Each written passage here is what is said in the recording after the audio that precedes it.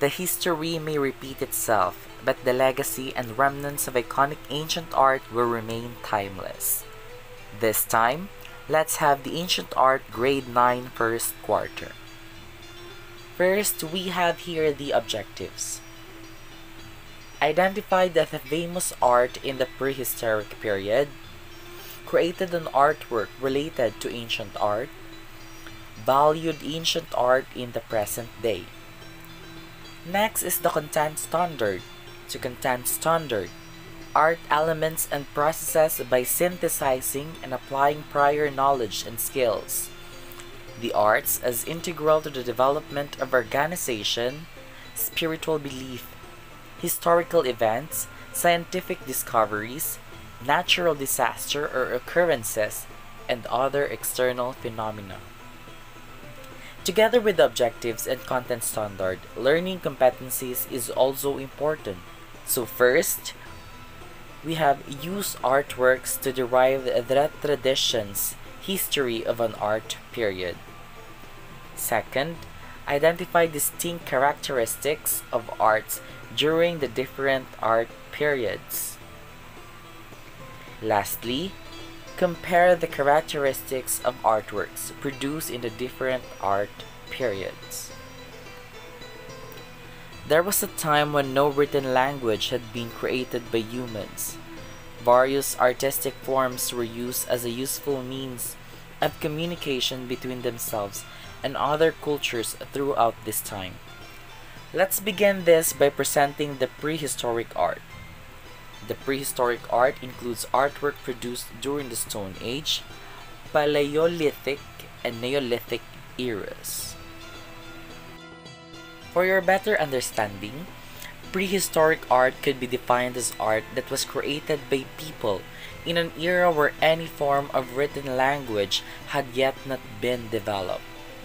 The time in which various cultures throughout human history started developing their unique language systems varies greatly from region to region.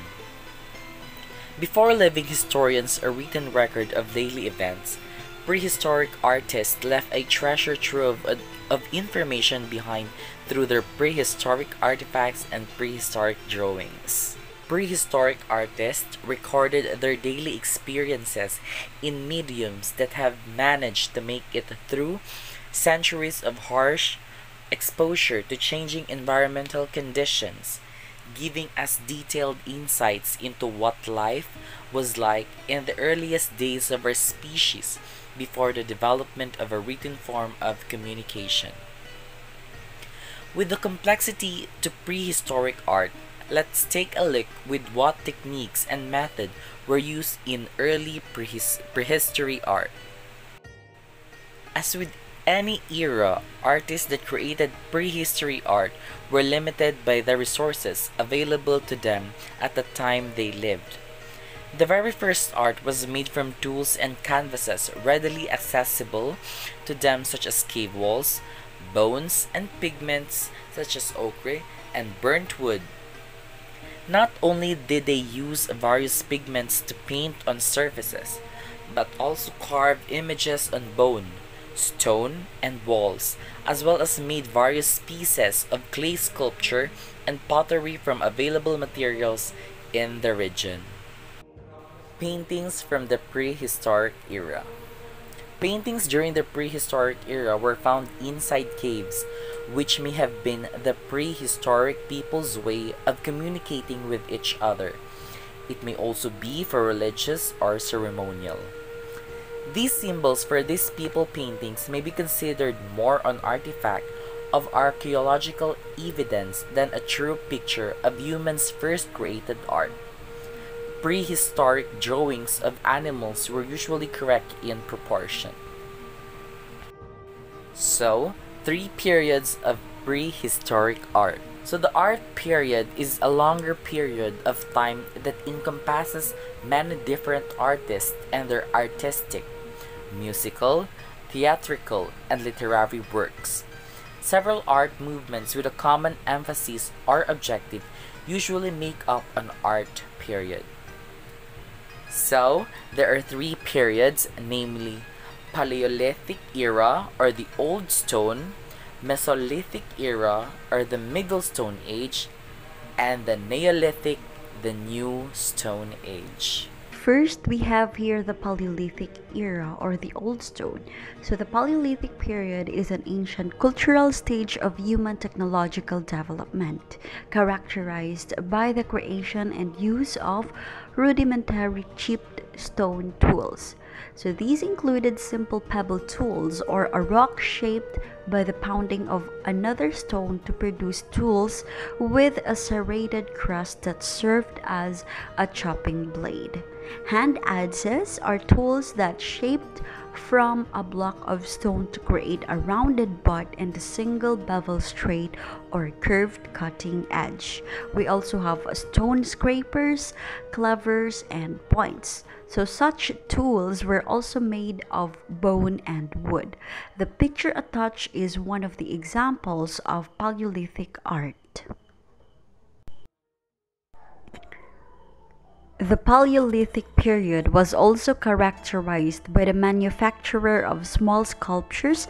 Example given is carved stone statuettes of women, clay figurines of animals, and other bone and ivory carvings, and paintings, incised designs, and reliefs on cave walls.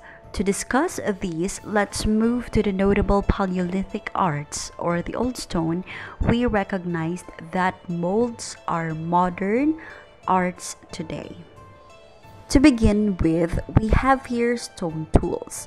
Stone tools of the Acheulean industry used by Homo erectus and early modern humans and of the Mousterian industry used by Neanderthals.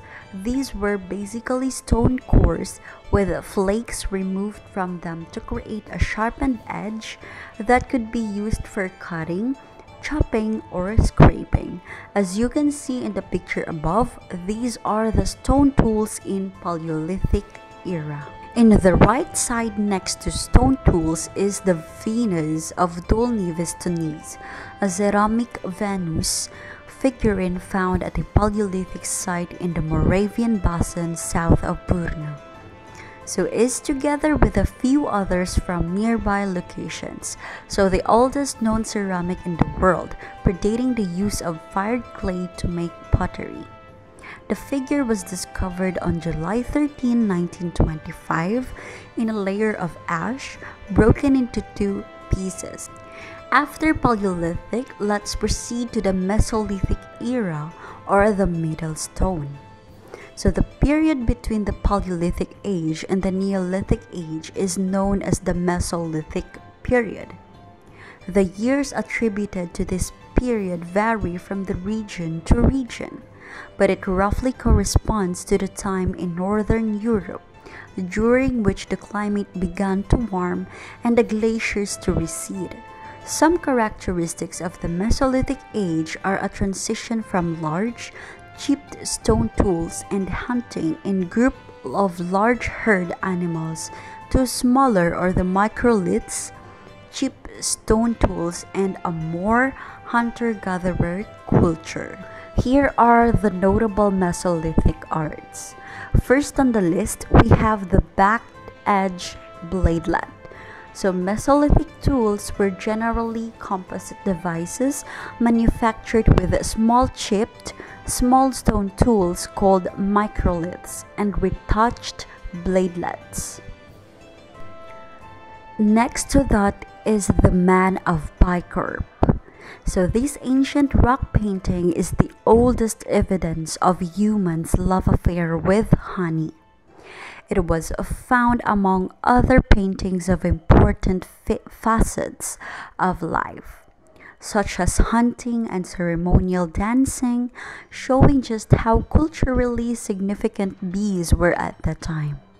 Studies have shown that the peoples in the Bicorp area are the time were typically nomadic hunter gatherers, unable to cultivate cereals that in other cultures of the time were the base carbohydrate in many diets. Finally, for the Mesolithic arts is the dance of Cogul. The painting known as the Dancers of Cogul is a good example of the depiction of movement in static art. In this scene, nine women are depicted, something new in the art of this region, some painted in black and others in red. They are shown dancing around a male figure with an abnormally large phallus, a figure that was rare if not absent in Paleolithic art. Along with humans, several animals, including a dead deer or buck impaled by an arrow or atlatl, are depicted. Down to the last period, the Neolithic era. So, the Neolithic period, also called the New Stone Age, is the final stage of cultural evolution or technological development among prehistoric humans. The stage is characterized by stone tools shaped by polishing or grinding, dependence on domesticated plants or animals, settlement in permanent villages, and the appearance of such crafts as pottery and weaving. In this stage, humans were no longer dependent on hunting, fishing, and gathering wild plants. Under Neolithic era, we have here the classical art. So when we say classical art or classicism, refers to artwork that draws inspiration from ancient Roman or ancient Greek culture, architecture, literature, and art. So classicism was most popular in Western art during the Renaissance period and often depicted scenes from mythology through painting, sculpture, and printmaking. So let's explore the notable classical artworks. So we have here Adam and Eve. So Adam and Eve is the engraving of Adam and Eve of 1504 by the German Renaissance artist Albert Dürer. So recasts this familiar story with nuances of meaning and artistic innovation. In the picture, Adam and Eve stand together in a dense, dark forest, far from the garden evoked in Genesis. So this forest is distinctly German, the dark woods of the devils and the spooks of Grimm's fairy tales. We also have here the Oath of the Horatii, so a more rigorously neoclassical painting style arose in France in the 1780s under the leadership of Jacques Louis David. The painting depicts a scene from a Roman legend about the 7th century BC dispute between two warring cities, the Rome and the Alba Longa, and stresses the importance of patriotism and masculine self sacrifice for one's country. Next, we have Pylades and Orestes brought as victims before Iphigenia. So, in the passage depicted by West Iphigenia, a priestess of Diana stands in judgment before the semi naked figures of her brother Orestes in the red drapery, and his cousin and companion Pylades, who are brought before her, bound by the shepherd or sender who had previously reported their capture. Let's continue our lesson with Egyptian art. Egyptian art is known for its symbolic, stylized, and use of myriad of media to vividly express their belief systems, wealth, power, and dedication to history and to life after death. Glory to their gods, and the recording of national events and victories were paramount to the purpose of their art. Paintings from ancient Egypt. The purpose of Egyptian paintings is to make the deceased person's afterlife place pleasant. With this in mind, Themes include journey to the underworld or the presentation of the deceased to the gods of the underworld by their protective deities. It emphasizes the importance of life after death and the preservation of the knowledge of the past. Most paintings were highly stylized and symbolic and show profile view of animals or people. The dominant colors used were red, black, blue, gold, and green, derived from mineral pigments that can withstand strong sunlight without fading. Paintings from sarcophagus of Tutankhamun 18th dynasty 1362 AD to 1253 BC. The paintings on the walls on the tomb show events of the life of the king while he was still on earth and the scenes he expects to encounter in the underworld after his death. The Book of the Dead The Book of the Dead is an ancient script that contains text on how to bring back the dead in the afterlife. This book consists of a number of magical spells that are supposedly used to assist a dead person's journey through the underworld once they have died and been resurrected into the afterlife. The earliest of the spells and manuscripts date back to 3000 BC and the newer spells were added later in Egyptian history, most recently during the 11th to 7th centuries BC. Mummification in ancient Egypt. Mummification was an important part of the concept of an afterlife. A proper ritual had to be followed to mummify a dead person to ensure his or her resurrection after receiving judgment from the Egyptian gods. Before the Old Kingdom, the earliest of the Egyptian civilizations, bodies which were buried in the desert were naturally preserved by desiccation, but as time passed, wealthier Egyptians started to arrange for more elaborate artificial mummification. Now let's proceed to Greek art. Greek art is all about images images of gods, images of heroes, and images of humans. The self awareness of the Greeks is reflected in the ways they decided to visualize themselves and the world, both real and imaginary, surrounding them. Ancient Greek art emphasized the importance and accomplishments of human beings. Even though much of Greek art was meant to honor the gods, those very gods were created in the image of humans. Much artwork was government sponsored and intended for public display. Paintings from Classical Greek Era Painting from Classical Greek Era Painting from the Classical Greek era were most commonly found in vases, panels, and tombs. It depicts natural figures with dynamic compositions. Most of the subjects were battle scenes, mythological figures, and everyday scenes. It reveals a grasp of linear perspective and naturalist representation. Most common methods of Greek painting is fresco method of painting water-based pigments usually on a wall surfaces. Another one is encaustic, developed to be used by Greek shipbuilders who used the hot wax to fill the cracks of the ship.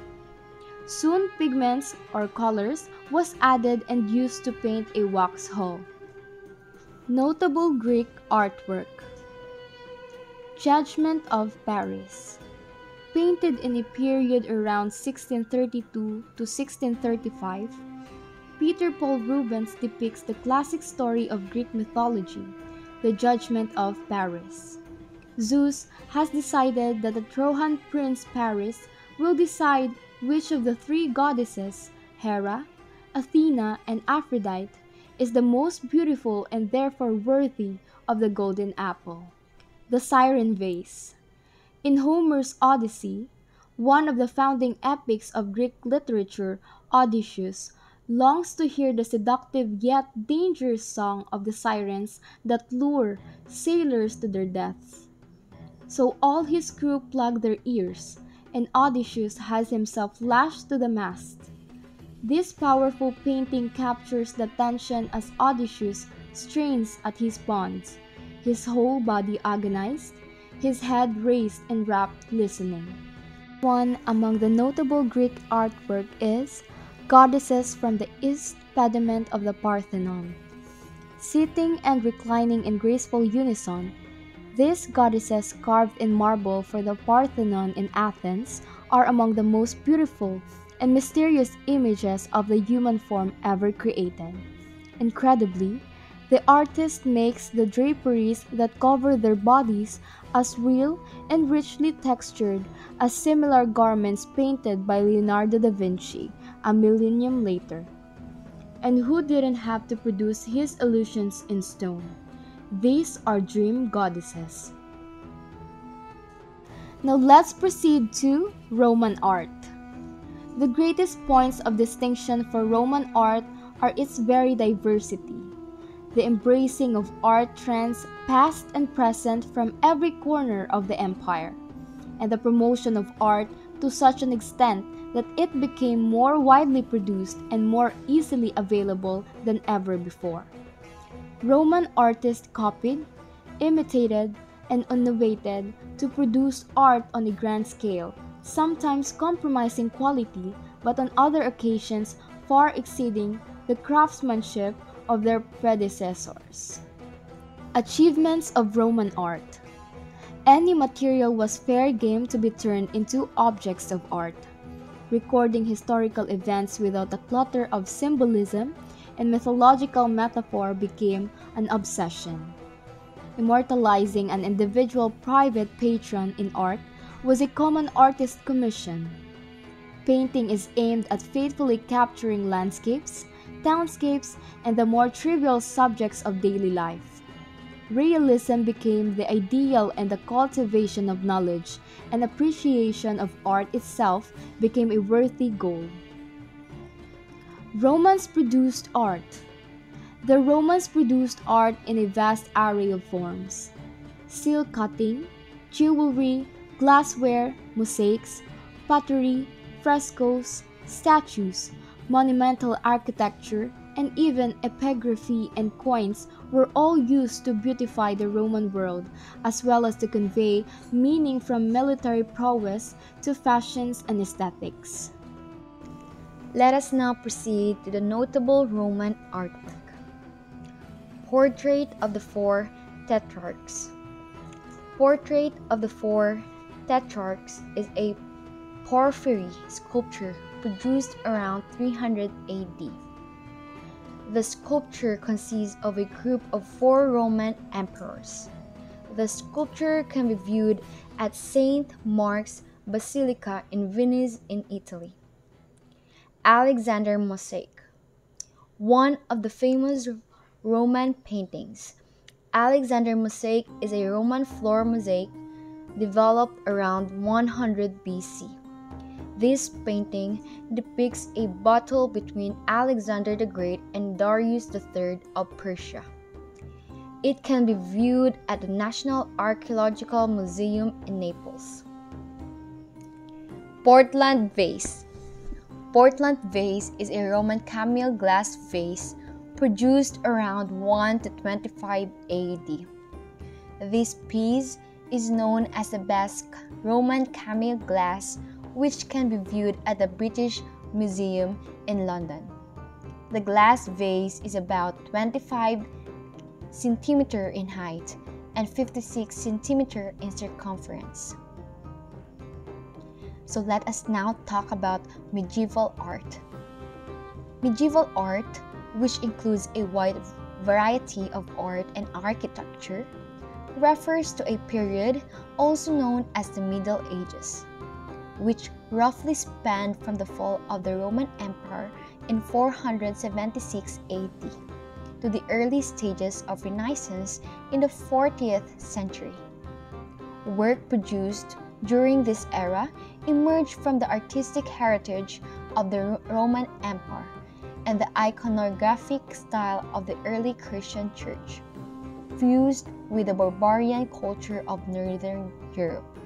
Byzantine Byzantine art from 40th to 50th century CE is generally characterized by a move away from the naturalism of the classical tradition towards the more abstract and universal. There is a definite preference for two dimensional representations and those artworks which contain a religious message predominate. Tree of Jesse Tree of Jesse, illuminated page from Rabanus Maurus de Laudibus Sanctae Crucis ancient mid 12th century in the municipal library of Douai, France. Saints Boris and Gleb Saints Boris and Gleb, icon by a follower of Prokopy-Chirin, Stroganov school, 7th century in the state Tretyakov Gallery, Moscow. Byzantine gold earring with enameled bird, 12th century, in the British Museum, London. These earrings show the skill and the quality achieved by Byzantine jewelers. They come from a treasure of 36 pieces found in Egypt. The treasure is shared between museums in London, Berlin, and New York, which at this time was part of the Byzantine Empire. So let us now proceed to the Romanesque.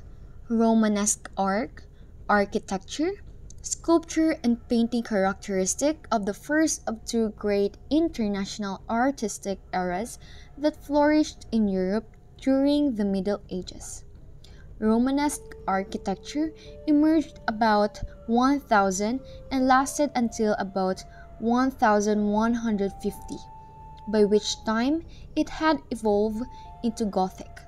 The Romanesque was at its height between 1075 and 1125 in France, Italy, Britain, and the German lands. The name Romanesque refers to the fusion of Roman, Carolingian, and Ottonian, Byzantine, and local Germanic traditions that make up the mature style.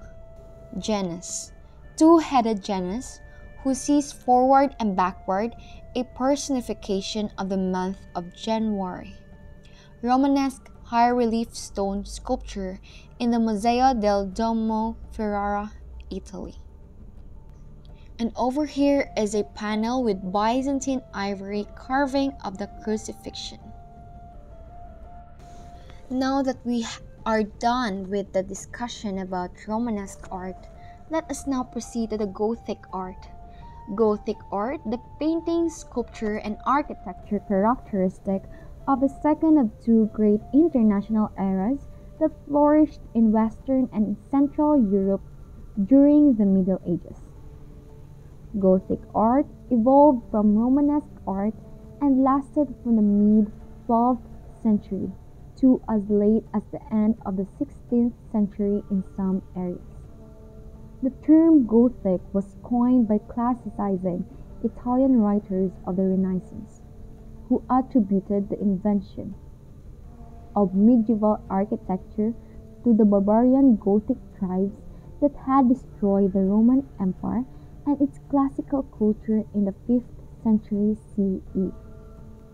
Examples of Gothic art includes Chartres Cathedral, France, Amiens Cathedral, the revolted ceiling of Amiens Cathedral, France, and lastly, Basilica of Saint Denis, France. Now, let's move to the famous examples of prehistoric art. These pieces of prehistoric art history were created before written languages had been developed yet, so the chances of us discovering a signature or name seem rather slim to none.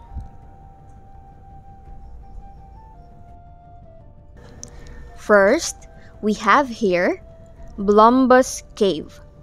Blombos Cave is situated 300 kilometers from Cape Town to the Blombos Private Nature Reserve and is considered an extremely important archaeological site. It is here the archaeologists found what is now thought to be the oldest known drawing created by human hands and is estimated to be about 73,000 years old based on surrounding deposits. Very little is known about humans from this period, so it comes as a surprise to researchers that humans from this time would display an ability to create works of art. Ochre stone found at the Blombos cave site. The pattern dates from approximately 70,000 years ago. Another famous examples of prehistoric art is the Venus of Willendorf. The Venus of Willendorf was discovered in 1908 at the site of Willendorf in Austria by digger Johann Veran during excavations.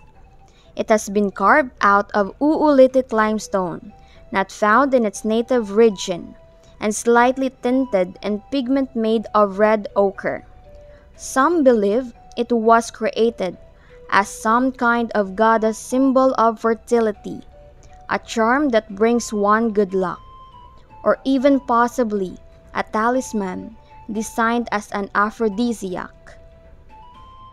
The figure consists mostly of a female torso and breast, with the arms present, but not anatomically represented.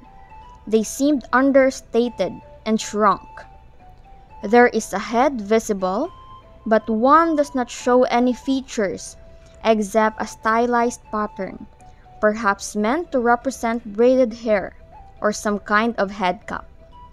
The feet also seemed to be missing, or were perhaps not ever part of the initial design to begin with.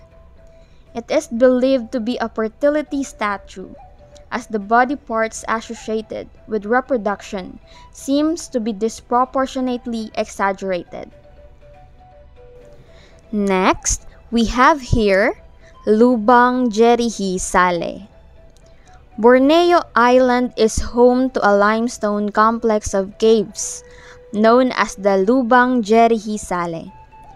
At around 40,000 years old, it is thought to be one of the oldest figurative paintings known to the world.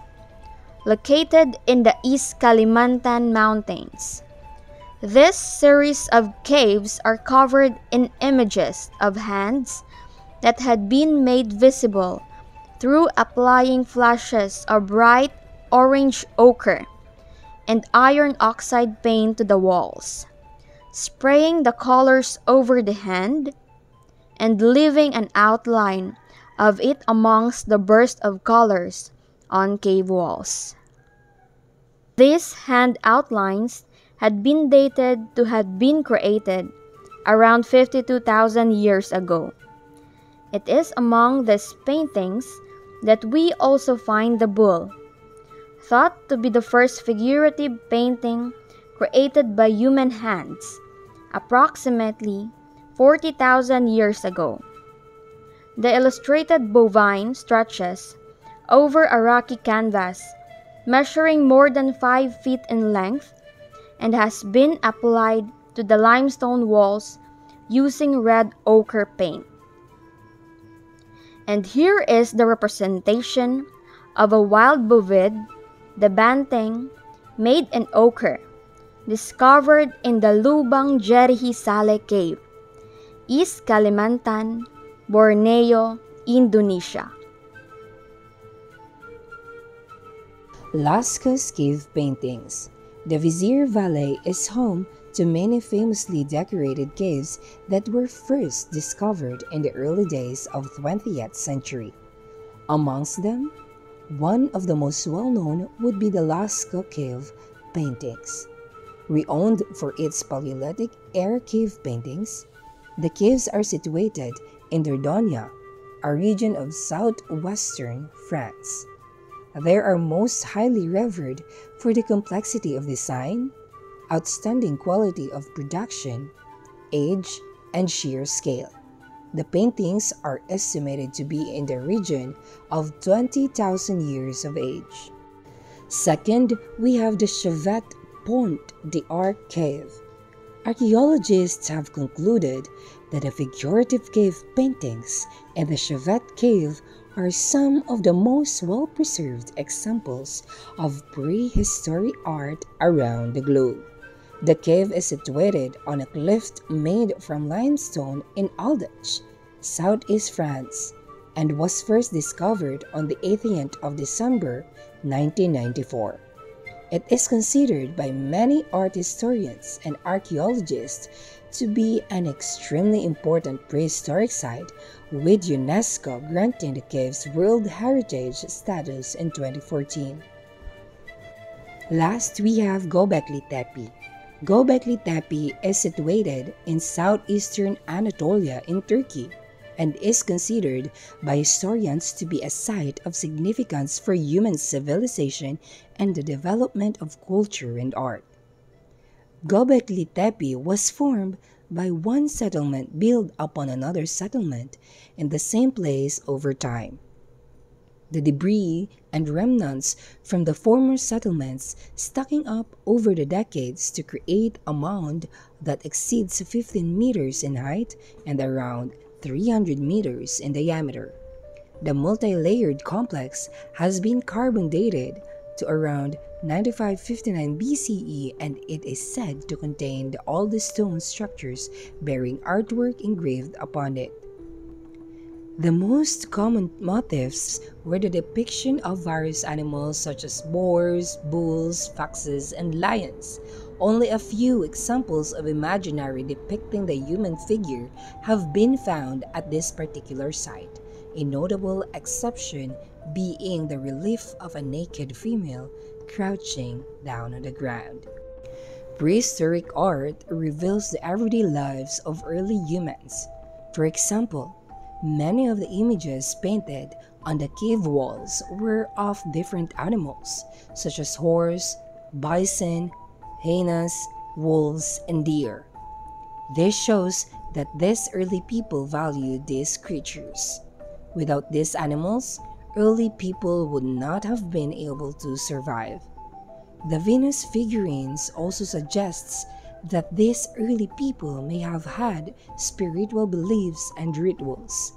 It is possible that these figurines, which accentuate female anatomy, were created with the hope that they would help increase fertility. Art is a tradition that connects us and encourages us to look beyond reality. Prehistoric art, in particular, is very important because it gives us insight into the development of the human mind and ways. Evidence of artistic thinking in hominids dates back 290,000 years ago, the Paleolithic Age. From holes in the wall to elaborate frescoes, art shows us that there was more to our prehistoric ancestor than Neanderthalic behavior. Ancient Art, Grade 9 Activity Assignment Paint Me on the Rock. Guidelines You will make a rock painting as it was found in the cave, wall, cliff, or boulder made by the primitive people. You have the decision to paint whatever you want, but make sure that it is inspired from the ancient art based on the topic discussed.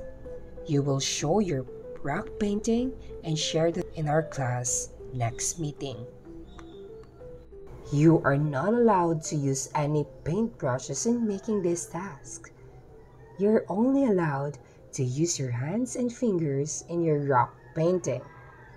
Also, used your creativity in making this task. You are also expected to refer to the rubrics provided. In making your rock painting, these are the materials you need to use, and these are the materials you need to prepare. First, your rocks. Second, your newspaper or old papers. Third, and the last is your paint. Activity project for grade 9 Ancient Art. So here are a video of the students who are making their ancient art inspired rock painting.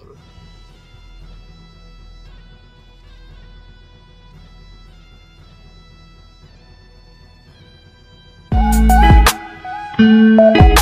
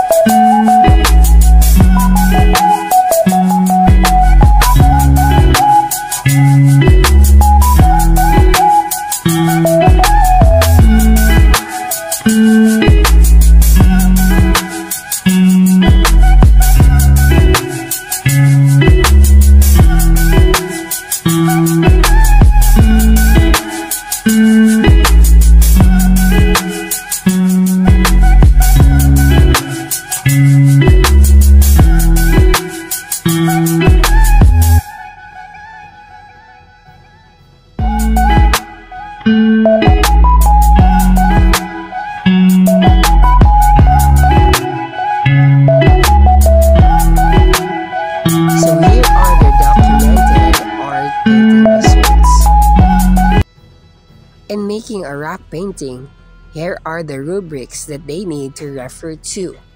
So first, we have here the creativity and risk-taking.